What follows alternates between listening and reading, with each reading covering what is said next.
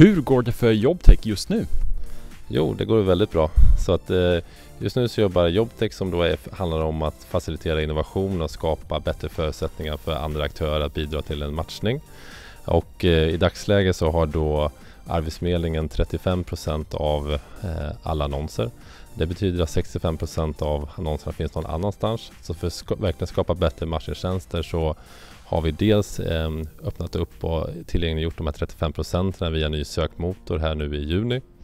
Och eh, under hösten så har vi, kommer vi lansera resterande 65 procent i en ny datainsamlingstjänst så att alla aktörer ska få tillgång till 100 procent av alla annonser på marknaden. Och vad blir då skillnaden jämfört med hur det är idag?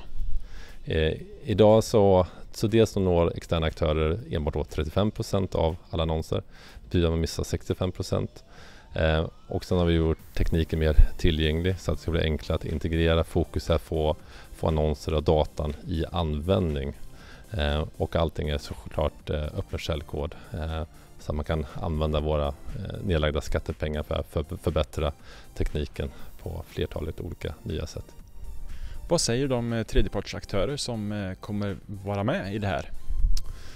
Absoluta merparten är ju positiva till, till den här tillgången som man får tillgång till. Det är verkligen då eh, data som är en strategisk resurs för Sverige enligt mig. Eh, och eh, att just kunna få den kostnadsfritt är ju en stor besparing. Vi, ser att, att många flera kommer att kunna bidra till en bättre matchning. Eh, och eh, vi har en juridisk utredning som tyder på att, att det fungerar även utifrån en konkurrenslagstiftning att man kan göra på det här sättet. Vad har varit mest klurigt under utvecklingens och projekt, projektets gång hittills? Dels är det som med all utveckling att det är relativt tidskrävande och eh, framför allt skulle jag säga det stor, stora parten att bygga ett ekosystem är att få med sig så många aktörer som möjligt på det, i den här resan.